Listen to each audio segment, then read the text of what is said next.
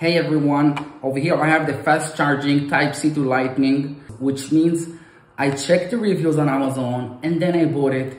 And I, you see, I have two of them. The other one I'm using it, this I didn't even open yet.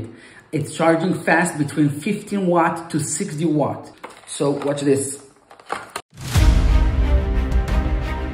The material is very flexible and very durable for long use. And over here it has protection so that it will never, uh, you know, go dead on you.